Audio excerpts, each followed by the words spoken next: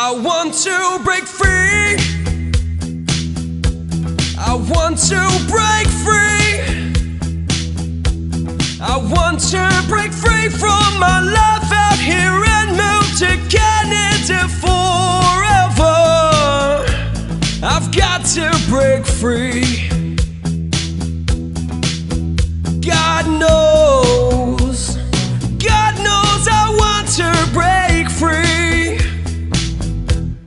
Good day, ladies and gentlemen. This is IRC News. I am Joy Stephen, a certified immigration practitioner, and I bring to you this federal news bulletin from the, from Canada Immigration. This recording originates from the Polinsys Studios in Cambridge, Ontario. The Government of Canada reduces immigration quotas mainly targeting international applicants. Today, the Honorable Marc Miller, Minister of uh, Immigration, Refugees and Citizenship, announced the 25 to 27 immigration level plan, a plan that will pause population growth in the short term to achieve well managed, sustainable growth in the long term. For the first time ever, the level plan includes control targets for temporary residents, specifically international students and foreign workers, as well as for permanent residents. Immigration is essential to our country's economic success and growth. As Canada reopened following the pandemic, the needs and, uh, of businesses were greater than the supply of workers available to support their recovery. Therefore, the Canadian government took decisive measures to attract some of the world's best and brightest to study and work in Canada and to integrate them into the econo- economy quickly. This meant a faster economic recovery. It also meant that robust immigration helped prevent a recession while contributing to Canada's workforce. In response to the evolving needs of the country, a transitional level plan alleviates pressures on housing, infrastructure, and social services so that over the long term, Canadians can grow our economic and social prosperity through immigration. This unprecedented plan offers a comprehensive approach to welcoming newcomers, one that preserves the integrity of our immigration programs and sets newcomers for success. Canadians also expect a well managed immigration system from the Government of Canada. The 2025 to 2027 Immigration Levels Plan is expected to result in a marginal population decline of 0.2% between 25 and 26 before returning to the population growth of 8.8% in 2027. These forecasts account for today's announcement to reduce targets across multiple immigration streams over the next two years, as well as expected temporary resident outflows resulting from the 5% target, natural population loss, and other factors. With this year's level levels plan, we that means the Canadian government has listened to Canadians. The government is reducing our permanent resident targets compared to last year's plan. We are redu- uh, we, uh, that means the Canadian government is reducing from 500,000 permanent residents to 395,000 permanent residents in 2025, reducing from 500,000 permanent residents to 380,000 permanent residents in 2026, setting a target of 365 permanent residents in 2027. The Levels plan also supports efforts to reduce temporary resident volumes by 5% of Canada's population by the end of 2026.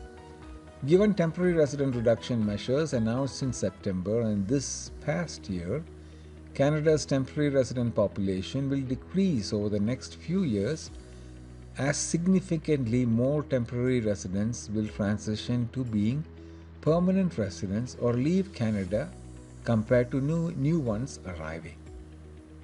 Specifically, compared to each previous year, we see the Canadian government sees Canada's temporary residents decline by 445,901 in 2025 and 445,662,000 in 2026. And then Canada will see a modest increase of 17,439 in 2027. These reductions are results of a series of uh, changes over the past few years uh, over the past year, including a cap on international students and tightened eligibility requirements for temporary foreign workers, implemented a decreased volume, and strengthened the integrity and quality of our temporary resident programs. The changes are designed with long term economic plans in mind to make sure that we continue to attract the best and the brightest. These changes will help provinces, territories, and stakeholders align their capacities and allow the population to grow with a sustainable pace as we encourage institutions to do their part in better welcoming newcomers. Other measures from 2025 to 27 immigration level, uh, levels plan include the following transitioning more temporary residents who are already in Canada as students and workers to permanent residents. Representing more than 40% of the overall permanent resident admissions in 2025, these residents are skilled, educated, and integrated into Canadian society. They will continue to support the workforce and economy without placing additional demands on our social services because they are already established with housing and employment. Focusing on long-term economic growth in key labor market uh, in key labor and key labor market sectors such as health and trades. Permanent resident admissions in the economic class will reach 61.7% of total admissions by 2027. Strengthening francophone communities outside Quebec and supporting their economic prosperity. Of the overall permanent resident admission targets, Francophone immigrations will represent 8.5% in 2025, 9.5% in 2026, and 10% in 2027.